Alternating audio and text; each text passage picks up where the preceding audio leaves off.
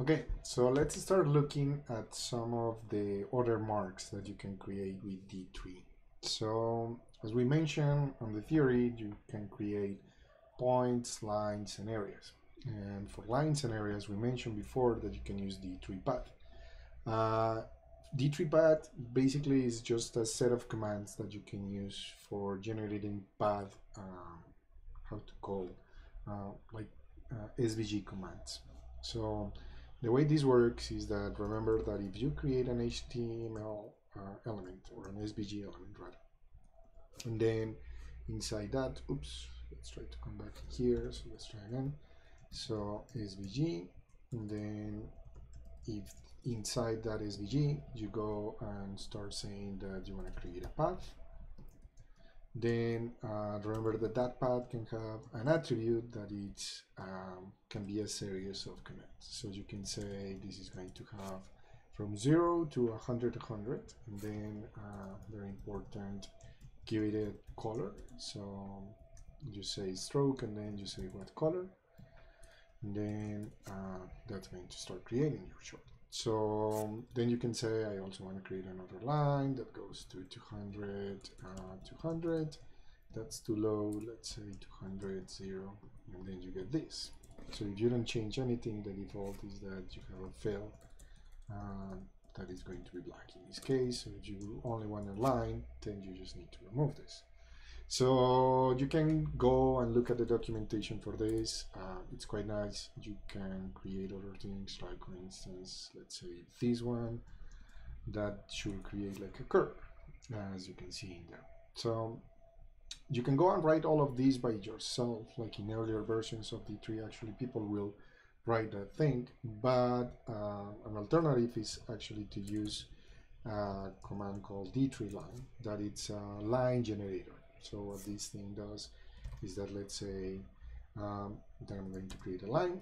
And then uh, the key of this is that if I just call line with a set of lines, let's say for instance um, something like an array that starts from 0, 0 and then goes to 100, 100 and then goes to 200, 0 then that is going to generate something very similar to what you have in here. So if you actually go and put the result of this, let's say that we call this generated and then we just paste that in here, then that actually is going to create the line for you. And it's quite nice because like it this responds to data, so you can modify. So if you actually want to use that on a chart, what do you do? So I have some data loaded in here. Uh, this comes, I have imported D3, and I have imported Vega datasets, and I imported the stocks dataset. That it's a classical stock, uh, dataset that contains some stock prices for certain dates and with a price. I did some date formatting in here, so I'm going to look at that later when we look at time. But for the moment, what else do we have? we have like the basic template where we are creating an SVG with a view box and then we are appending our G drawing and then that's we are returning the SVG in here. We have our margin and I created a couple scales. We have one scale for time, there's going to be an X that has a domain with the date and we have another scale for Y that is a scale linear um, and that's going to work with price. So if you go and you want to draw this and actually let's create another scale here just remember oh but we are going to see that so let's start drawing this. So the normal way that you can draw this like especially with what you've seen it's like let's say that you're going to select all the points then you do some data binding with my data and then you say I'm going to join this with a circle uh, since I'm selecting by class then let me give it a class before I forget. And then inside that one you can just start changing the position in x that in this case it's going to be uh, the d dot date passed by the scale. You can replicate the same thing uh, for y. So in this case it will be this and then price and finally I need to provide a radius in this case the radius is going to be um, so I'm just going to pass like this If you do that, then you can start seeing all of the points, okay? So um, I can actually go, and that's the other scale I wanted to create. I can create a color scale that is going to be scale ordinal. In this case, let's see that I'm going to use a D3 scheme accent, for instance, and then I just need to change the fill of this. So I can say that the fill of this is going to be d of color of the dot um, symbol. I think is what they call it. Oops, oops, oops. Symbol. So as you can see in here, now we have things colored by a different symbol. Uh, that doesn't seem to show very well. Let's maybe use set to or something like that. Scheme set to Okay, that looks a little better. So now if I want to draw a line on that, and that's interesting because when you see, when you look at this, when you start thinking on how many points I showed in here, I have one point for each data entry. So I have uh, like more than a 500 points in there. If you want to draw the lines, then thinking about how we generated that in here, notice how, notice how we generated one line out of like all of these points. So basically what we want, if we want to draw lines out of this, is that we want one for each one of the stock prices. So we will start creating the lines for this. Here, uh, basically what you were saying is that I want to create a line. Uh, let's say for the moment that we want the data, and then we want to generate paths, and then we're going to be generating this line. So then we don't have radius or cx or cy. We do have a fill, uh, but the only one we have in here is D. And then we have to pass what is the attribute that we're going to have for that. So remember that we had that generated one. So I could pass that generator and it generates this one. So actually because of that, let me right away change this stroke uh, to be none. And then, uh, um, then uh, change uh, also the filling to have that color. And then oh of course uh, yes it's the opposite. So I want the stroke uh, sorry I want the stroke to be this one and the fill to be this one. And then I have a line but I need to, to for the line to go through all of those elements.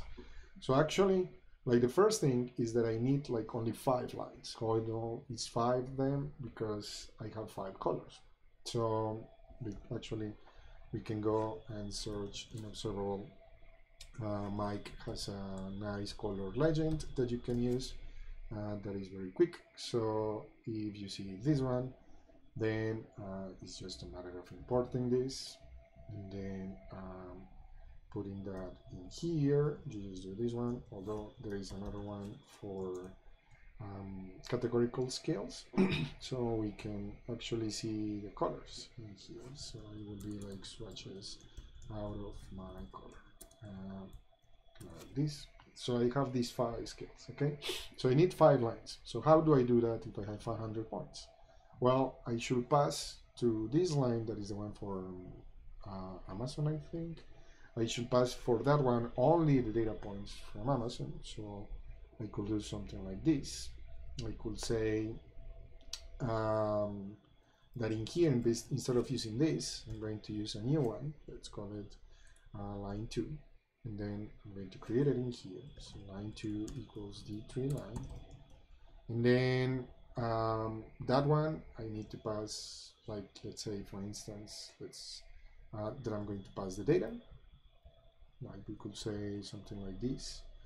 Um, like all the data, but only the ones that have, uh, let's say, for instance, that the symbol equals um,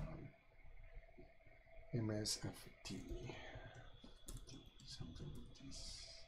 So uh, by doing that, then of course I'm not getting any.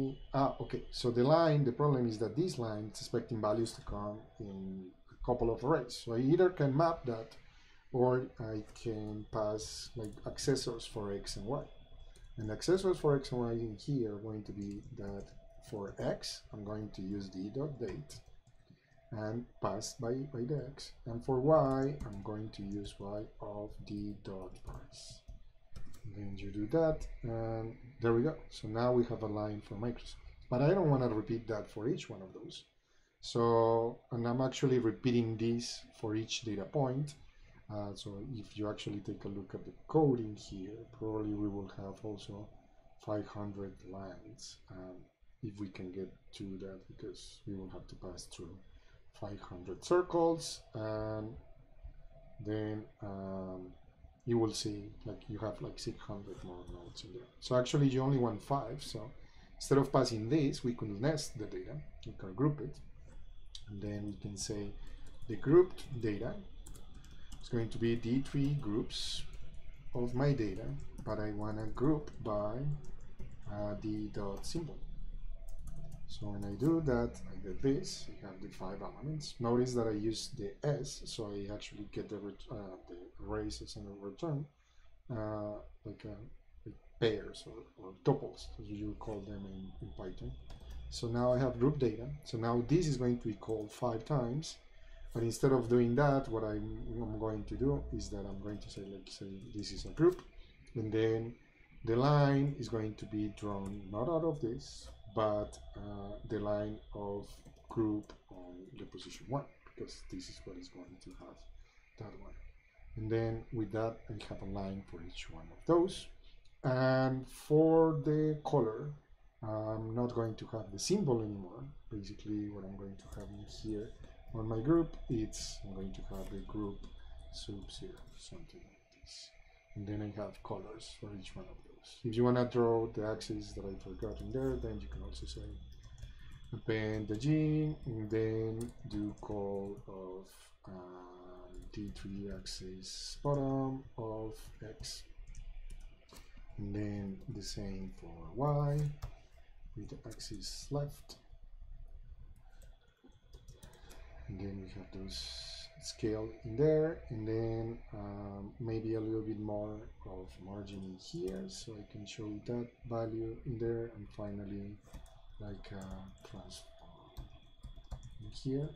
So with a translate of uh, on X nothing but on Y I want to go uh, width or sorry height minus margin top minus margin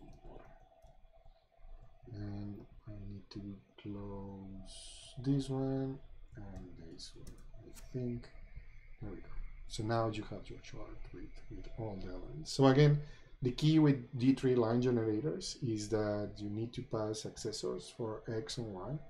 And when you're drawing them make sure that you're grouping the data first or that your data it's in the proper format. What you want is to have like a list of elements that correspond only to that line. And in this case, we got it easy because all of that was sorted. But usually, if you don't have your line sorted, then it's going to go crazy like all of the way. So make sure that you sort that first. Okay, that's how you make D3 lines.